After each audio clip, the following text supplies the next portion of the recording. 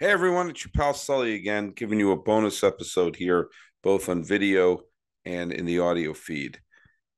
This is October 24th, 2022. And for those of you who've been following my podcast from before I was at Locked On MLB, you'll know that October 24th, 2012 was a very special day for me as a podcaster. And I couldn't let this day go by without celebrating it. This was Sully Baseball. Now it's Locked On MLB.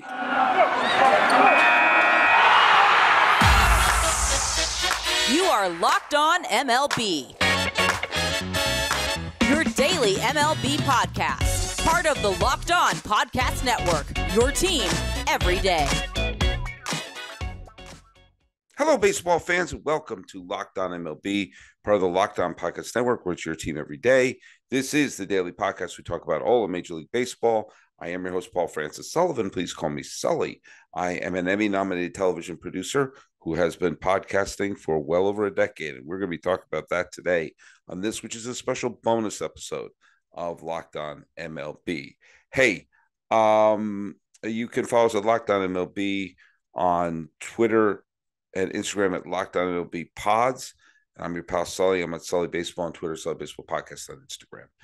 This is a bonus episode, which I'm dropping here on the 24th day of October 2022. And for those of you who've been following my podcast from before my Locked On MLB days, when I was the Sully Baseball Podcast, um, this is a special day for your pal Sully because, well, it's a very special anniversary. I've been a podcaster for quite a while now. And on October 24th, 2012, I embarked on a really, really ambitious journey as a podcaster. And I think while I haven't hit exactly what I was hoping to hit, I can honestly say that I've been able to do a well, have the most fun creatively I've ever had in my life. For those of you who don't know me, uh, I was uh, for many years I was a stand-up comic living in New York and in the San Francisco Bay Area. I did comedy both places there. I was a television producer, as I mentioned. Some of the shows I worked on were very successful. Uh, probably the biggest one I ever worked on. I was a producer on The Daily Show with Jon Stewart for a little bit. I worked on many other talk shows, reality shows, things like that. I was a filmmaker. A film I directed ended up in a few movie theaters and some festivals. And uh, I've been a performer and, and other things I've done. Some magazine articles I've written for baseball magazines. But the most fun I've ever had creatively is doing podcasting. I just love doing baseball podcasting. And I had been dabbling in it for a couple of years. I'd done, a, I started one thing, I only did a couple episodes, and I bailed on it. And then um, I was uh, involved with seamheads.com, which was a website, and they had a weekly podcast, and I did a big long segment at the end of their flagship show. It wasn't really my show. I just I did a lot of stuff on it, and that was a weekly thing. And I kind of a lot of things in my life were you know, I my career and everything got in the way, and doing a weekly podcast, I just didn't feel any rhythm to it. And for a while, I was thinking to myself, the only way you could do a baseball podcast is to do it every day. Just have a daily podcast because the what happens in baseball happens so so quickly. And I kicked around the idea of doing it, kicked around the idea of doing it, and then on the 24th day of October 2012, I sat down at my dining room table at the luxurious Sully Baseball Studios in Pasadena, California, overlooking the historic Rose Bowl. And it was on the eve of the 2012 World Series between the San Francisco Giants and the Detroit Tigers. This is how long ago it was. The Tigers were in the World Series. And I recorded my first podcast. And then the next day, I recorded another one. And then the next day, I recorded yet another. And this continued for the next 1,622 days. Between the 24th day of October and the second day of April 2017. So for 2012, October 2012 until April 2017, I never missed a day. Christmas did a podcast. Was in the hospital one day, did a podcast. Took a family trip, still did a podcast. Okay, I confessed a couple of times I would bank four or five episodes, but I would drop a new podcast every single day, no repeats for 1,622 days. Now, eventually, life got in the way and it became impractical to keep doing it. But I would still drop one. Uh, I would drop one every once in a while. One here, one there.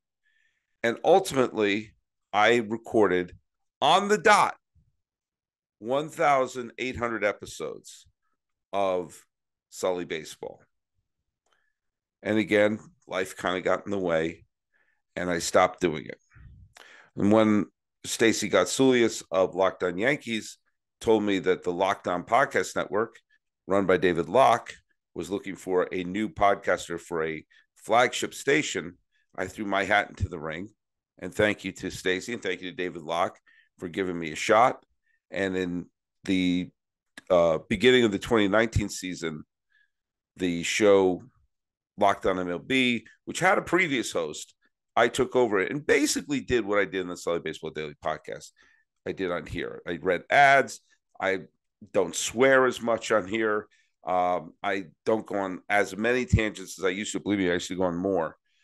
And I've been doing now the Locked On Podcast Network for the last four seasons. I also did a spinoff of Sully Baseball, which was a movie minute podcast called Bull Durham Minute, where we broke down the movie Bull Durham. Each minute of Bull Durham was its own episode. And that was 108 episodes of that. So between Sully Baseball Daily Podcast, Locked On MLB, and uh, the Bull Durham Minute podcast, I have done, I have personally hosted 2,000 849 podcasts. This is 2,850.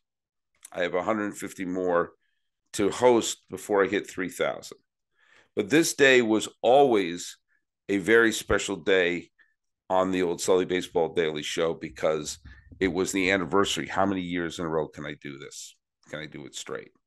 And while I didn't quite get to 3,600 or something that I promised, where I do 365 new shows a year, unless there's a leap year, then we're going to do another one.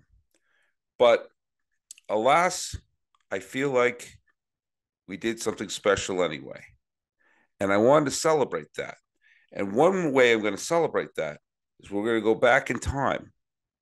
And I am going to play for you after the break the first Sully Baseball Daily Show recorded on October 24th, 2012 from my dining room table.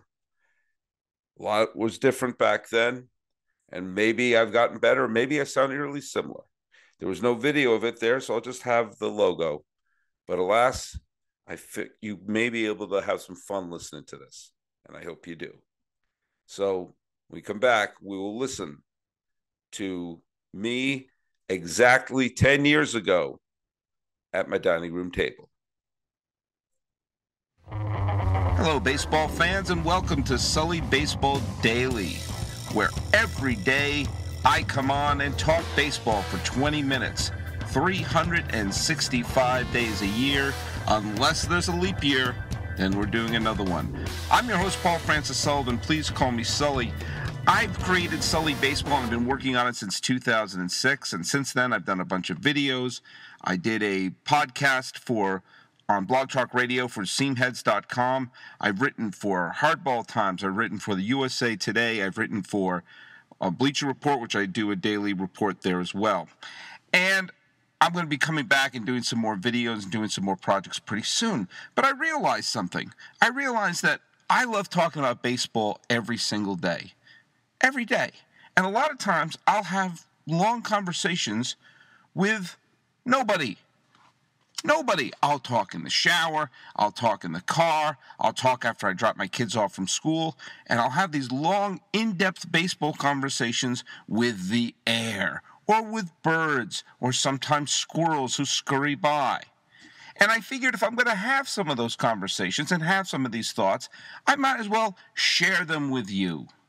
So you can listen to me every day, talk a little baseball, go through some of my ideas, go through some of my points, and maybe some of these are better expressed not on my blog that I write every day. Check me out at sullybaseball.com or every day on Bleacher Report. Check me out on my full name, Paul Francis Sullivan.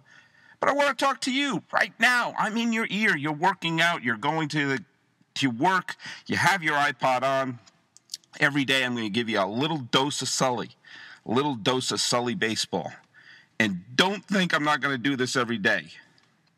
Just try me. Well, today's the first day I'm doing this. So, welcome welcome aboard. Subscribe if you want. I'm going to be on iTunes. After I do a few of these, please say a couple of nice things about me. Uh, and if any of you have any questions or any other topics you want me to talk about or bring up, by all means, email info at sullybaseball.com. I will talk about any team.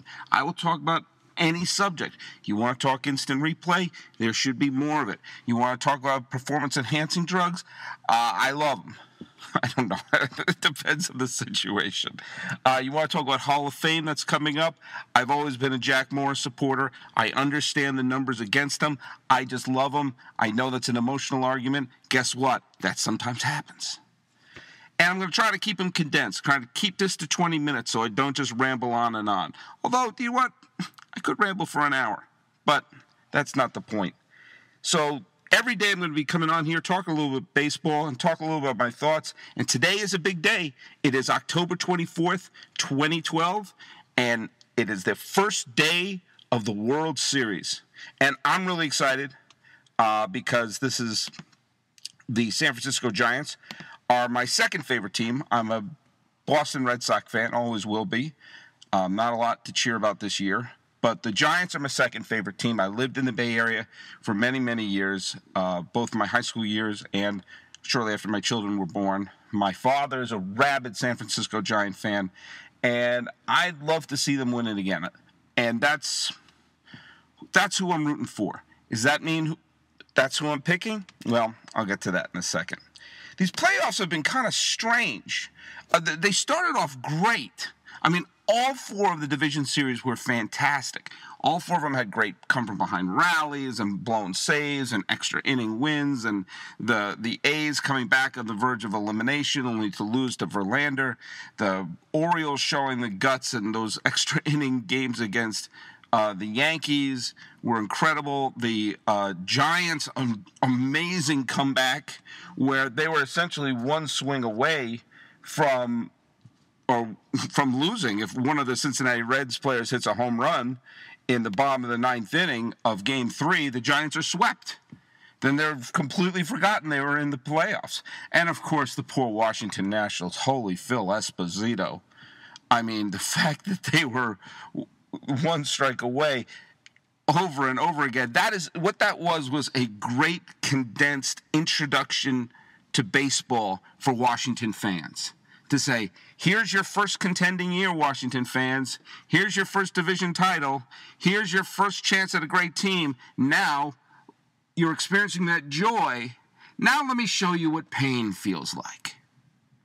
And that Cardinal comeback, where you know Davey Johnson was sitting in the dugout looking at the Cardinals celebrating, thinking, oh, so this is what the 1986 World Series felt like for the Red Sox. Uh, you have the A's, who are the single most entertaining story in all of baseball. Uh, I was a little heartbroken that they didn't advance, but man, what a great, great story they were, and such an exciting team. And you know what? If they had gotten past the Tigers, the way the Yankees were playing, I think they would have killed the Yankees. But that's neither here nor there. Then you get to the LCS, and the LCS were weird. I think we can agree that they were weird on the one hand, you had one series that was a sweep, and another series had a team come back from a three game to one deficit. That being said, the sweep was infinitely more interesting than the team coming back from the three game to one deficit. Well, let me explain my thoughts here. Which one do you think had the most attention? Which one do you think got the most attention from people? Was it the Giants rallying back from 3 1? Or was it the sweep of the Yankees? Now, notice how I phrased that. I didn't phrase that the Tigers sweep of the Yankees. It was the sweep of the Yankees. If you just listened to talk radio, read blogs, and, and listened to other podcasts and everything like that, you almost wouldn't hear who the team that won the ALCS was named. The, the Tigers were not the story. The Tigers were not what made that a fascinating ALCS. Nobody has talked about the Tigers absolutely, if you will, mauling the Yankees. Instead, it was the destruction, the honey boo boo level train wreck that was the Yankees. That's all anyone talks about. No one gives any credit to the Tigers' pitching or to their hitting all of it falls on the lap of the incompetence of the Yankees in that series, of which Yankee fans are, are now just dismissing the fact that they won the division 95 games. They beat the Orioles in a dramatic division series, which they probably should have lost, but they didn't lose. I love it when people say they should have lost it. I say, yeah, maybe they should have, but they didn't. They won it. But they get no credit for that whatsoever. The Tigers aren't mentioned. It reminds me of the way the Marlins when they beat the Cubs in the the Steve the infamous Steve Bartman series. Almost no one brings up the name the Marlins when they recap that. It's always that the Cubs lost. The Cubs lost to somebody. The Yankees got absolutely humiliated in the ALCS. And to the point where it's it could be the end of an era in New York. But I digress a little bit there. The Tigers are in. And the Tigers are in because, unlike the Yankees, they were built for the postseason. They may not have been the best regular season team. And you're going to see this more and more. You saw this when the Phillies won the World Series in 2008. You saw this when the Giants won the World Series in 2010 and when St. Louis won the World Series last year that it sometimes is the team that's better built for a short series as opposed to the team that's better built for the long haul. Maybe the, that was the problem the Atlanta Braves had all those years when they kept making the postseason but kept losing to other teams. They obviously were the superior team in the regular season almost every single year they were in the postseason. Well, Detroit has figured out okay, we got in the dance, and boy, oh boy, what the White Sox must be thinking as they held the lead as recently as what a week, a week to go in the season. Then, then they lost that division. The Tigers are now in the World Series and are favored to win the whole dang thing. And they've got the good, great starting pitcher right at the top in Verlander. They've got the solid lineup with the two pieces right in the middle of it.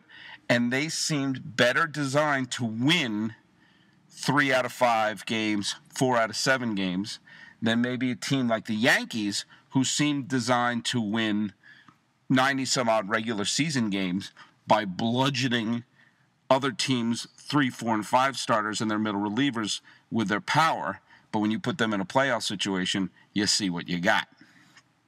But so we got the Tigers in there. The the this, but no one talked about the nobody talked about the Tigers when they recapped that. Because what, what was what was all the big talk? Talk was the Yankees are panicking, that the Girardi panics, uh, A Rod being benched, Jeter being injured and his career in jeopardy, the boos at Yankee Stadium, the empty seats at Yankee Stadium, A Rod hitting on some Australian babe. Robinson Cano not hitting, benching Granderson, uh, starting Brett Gardner at leadoff, Girardi punishing players. Uh, CC Sabathia stinking. I mean, it all was about the Yankees being bad. And no one could ever say, oh, could it also have been that the Tigers were good? I mean, for Yankee haters, it was Mardi Gras. For someone like me, who's a Red Sox fan, who doesn't have a lot to cheer this year, this was fabulous. You get to turn on and say, hey, hey, turn on the TV. Turn on the TV right now. Why? Because the Yankees are stinking. Because A Rod's sitting on the bench with a hoodie looking like the Unabomber sitting on the bench and hitting on some Australian chick. Hey, turn it on. The, the Yankees are swinging at balls in the dirt. They're about to lose. Phil Coke is about to close them out. Phil Coke is going to look like Rollie Fingers on the mound. I date myself by saying Rollie Fingers, I admit. You know, so then the the the Giants win, and I'm thrilled that the Giants won because I'm a giant. You know, the Giants are my second favorite team, as I said before. But that LCS was weird because it was like six of the games were blowouts. And what did the the Giants? I don't have the exact number in front of me. They, they outscored the Cardinals what twenty to one over the last three games, and they were over early. I mean, as someone rooting for the Giants, it was great. It was fun. The Hunter Pence swing that the ball hit the bat 58 times before, you know, spinning out of control. That was cool. Brandon Belt hitting a huge home run, and Marco Scutaro finally getting the, a, you know, having his moment of glory. All that was great. The games themselves weren't really suspenseful. I mean, it was kind of like, oh, get this game in fast before the rain kicks in too hard. I mean, what's the great moment of that series you're going to remember? There's no Aaron Boone moment in this. There was no uh, Endy Chavez catch to remember in this. There was no Francisco Cabrera single. It was okay. This is uh, a bunch of games, and Cardinals blew them out first bunch of games, and the Giants blew them out the last bunch of games. You know, no one's. We're about to go to a World Series here. No one can claim momentum in this. I mean, the the old adage that momentum is the next day starter. You know, Verlander is the best pitcher in the in the business the Giants are just coming off of a big series where they, you know, they've had virtually no rest. You know, I think the the Tigers learned from what happened in 2006. I don't think they're going to come out flat at all. I think they realize this is their moment. This is probably the best moment for this Detroit team to actually win a World Series because they got a lot of veterans on there. This is the best moment of things converging with Fielder and Cabrera, who won earlier with uh, the Florida Marlins. Verlander. This is this will clinch Jim Leyland in the Hall of Fame that he would have a world championship in both leagues. Uh, on the other hand, with uh, the Giants, this is a chance to cement them as to have that spare title, the way that the 2007 title did for the Red Sox. That this is the this is a truly terrific team that could lay claim to being a special champion more than a one hit wonder, but a multiple championship team. Those are the teams that people remember. You know, across the bay, you had Oakland uh, winning the three titles in the 70s. You know, the fact that the Tony La Russa A's never won that second title kind of hung over that team. The same thing with the Bobby Cox Braves. If they win this, this team has nothing to answer for. And I believe Bruce Bochy is going into the Hall of Fame. And this is a tremendous matchup. Now, it's not Los Angeles, it's not Boston, it's not Chicago, it's not New York, it's not Philadelphia. So you think, oh, Fox must really hate the matchup of San Francisco or Detroit. But do you know what? If they had any imagination, this would be a dream matchup. Think of the characters you have. Think of the, I mean, think of all of the different personalities on the team. You know, you have the Triple Crown winner and his left-handed counterpart at first base and Prince Fielder, who combined weigh a thousand pounds and they're exciting and they have a flair for the dramatic. You have Verlander, who's our best pitcher right now, who is media savvy and also, you know, has a, a you know is, is dramatic on the mound, has a good funny sense of humor. Then you have the Panda, you have Buster, you have Cain, who I said in the video looks like the kid from King of the Hill. Uh, Zito's coming around. He's got that cool kind of San Francisco mellow quality. You know, Pence looks like the lead singer of the Spin Doctors. You know, Lincecum is no longer a dominant starter, but you can have him coming out of the bullpen and a really cool uh, factor in games there. And you have the great, great experience of San Francisco baseball, which now has to be considered the best home field advantage. And you got the boats out there, you've got the people waving the towels, you've got the beautiful shots, and you have Detroit coming all the way back. And of course, all the talk of the auto industry and blah, blah, blah, blah, blah. And here's Detroit and the great fans they have there and the excitement they have for the Tigers. This isn't a stale story. The Yankees are a stale story. The Red Sox are a stale story. The Phillies are a stale story. This is a new these are new cool teams that you could say, no, no, it doesn't have to be a Northeast bias. Here we go. We got the Great Lakes. We got Great Lakes bias. We got West Coast bias. This is what MLB, this is what Major League Baseball and Fox should be promoting. This should be a dream matchup of superstars, super personalities, great stadiums, great fans, great looking uniforms that look they can bring back the clips of Mays, McCovey, Marichal, Will Clark, Kevin Mitchell. They can bring back the clips of you know, Hank Greenberg and Willie Horton and Al Kaline and Jack Morris and Alan Trammell and all those guys, and they, they're all wearing the same unis. This should be a great series. Think of all the great stars that can come out from that. And amazingly, these two franchises have never matched up in the World Series. Not in the Ty Cobb, Christy Mathewson era, not in the Carl Hubbell and Hank Greenberg era, not in the 60s when there's the Marichal Mays, Gaylord Perry, McCovey, and then the, the um, you know, the Tigers had uh, McLain and, and Kaline and all them. So this is should be looked on as a great, great matchup. So let me tell you, I am picking. I'm rooting for the Giants, but I'm picking the Tigers. I think the Tigers are going to win in seven. Now, here's what I want to see. What do I want to see in this World Series? I want to see an unlikely pitcher to throw a save, not one of the closers, an unlikely pitcher. I want to see a splashdown home run in San Francisco. I want to see the cast of the new girl freezing in Detroit. I want to see instant replay fix a blown call. I want to see one collision at home plate involving Prince Fielder, but that nobody gets hurt. I want to see all 25 active players on each roster get into at least one game.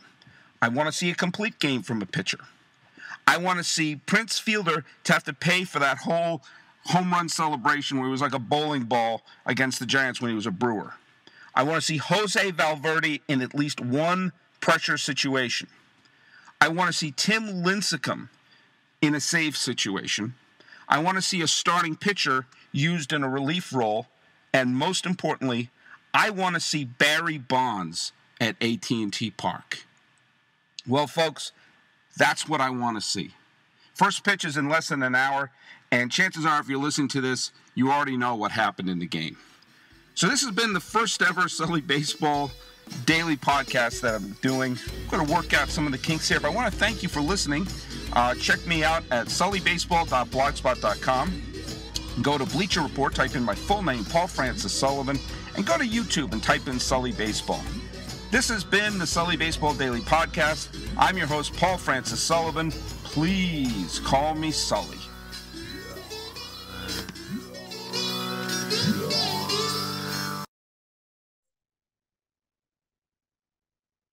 Well, thanks so much for listening.